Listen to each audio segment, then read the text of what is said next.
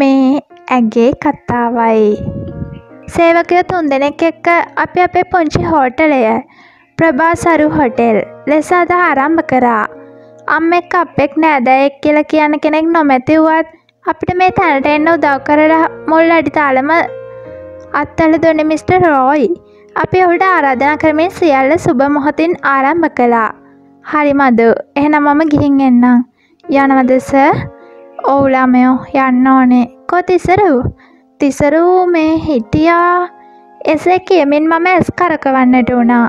බලනකොට කඩේට ඇවිත් ඉන්න කෙල්ලෙක් එක්ක මුකුළු කරනවා. සේවකයෝ ඉද්දී මෙයා මොකටද වේටර් වැඩේ කරන්න යන්නේ? හිතෙන් හිතමින් මම කතා කළා. තිසරු ඕ ප්‍රභා එනවා. අපි අසලට තිසරු පැමිණ මගේ අනිත් පසින් හිටගත්තා. එහෙනම් මම යන්න කියලා. ස තව තේකක් බීලා යමු. බෑ බෑ හොඳටම ඇති. දවල් කෑම එක කන්නත් එපැයි. ඒකනේ. කෑම ලෑස්ති කරන ගමන් තියෙන්නේ සර්. අපි පාර්සල් ටික එවන්නම්. මිස්ටර් රෝයි අපි අතරින් මිදිලා සැප පහසුට යට නගලා ඉගිලි ගියා. මම තිසරු දිහා රවා බැලුවා. මොකෝ මේ මෝහිනි වගේ මගේ දිහා බලන් ඉන්නේ. මෝහිනී කරගන්න එපා මාව හරිද? මොකද යෝධියේ මම මොකුත් වැරද්දක් කරේ නෑනේ. කරේ නෑ? ෂුවර්ද? ම්ම් ඔව්. ඔයාට මෙතන වේටර් වැඩේ කරන්න කිව්වේ කවුද? කවුරුත් නෑ. එහෙනම් පියුම්ගේ ජොබ් එකේ ළමයට කරන්න දීලා ඔයා කැෂියර් එකට වෙලා ඉන්න. මගේ අක්කා උස්සන්න නැතුව. ඇයි මේ? මෙතන එන එන සක්කර වට්ටම් එක්ක මුකුළු පාන තියාගත්තා. ආ ඒකද මේ? ඔව් ඒක තමයි. ඇයි? මමත් ඉතින් කසාදයක් කරගන්න එපැයි. හැමදාම මෙහෙම ඉඳලා බෑනේ. ඇයි මොඩේ මම ඉන්නේ? එසේ කියමින් තිසරගේ කනින් ඇදලා මම කුස්සිය පැත්තට දුවගෙන ගියා. කාලයක් හිතේ හිර කරගෙන හිටපු දේ මම කියලා දැම්මා. ඒත් මම දන්නේ නෑ දැන් තිසර මොනව හිතනවද කියලා. වෙහෙස බර දිනයක අවසානය. සියලු වැඩ කටයුතු නිමා කරමින් අපේ පුංචි හෝටලේ ළඟින් බයික් එකට නැග්ගේ ගෙදර යන්න හිතාගෙනයි. අපේ මහන්සේ පළවෙනි ප්‍රතිඵලය තමයි මේ බයික් එක. වැඩි දුරක නොවූ නිසා විනාඩි දහයක් යන විට අපි රූම් එක ළඟට ඇවිත් බැස්සා. ප්‍රභා ඔයා ගිහින් නාගෙන එන්න. මම මේ බඩ ටික අස්පස් කරලා බයික් එක පොඩ්ඩක් පිහදලා දාන්නම්. ම්ම් හරි තිසරු. ලොකු මහන්සියක් ඇඟ ඇතුලේ තිබ්බා. නාන කාමරයට වැදී හොඳින් නාගත්තා. පුදුම සනීපයක් ඇඟට දැනුනේ.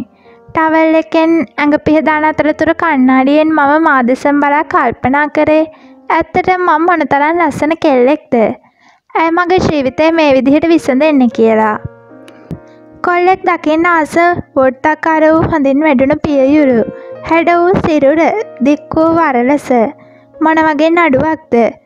එත්කෝ පතිවත. මොනව තිබ්බත් ඒක නැතුව වැඩක් තියෙයිද. මගේ කඳුළු කම්මල් දිගේ ගලා හැලෙන්න වුණා.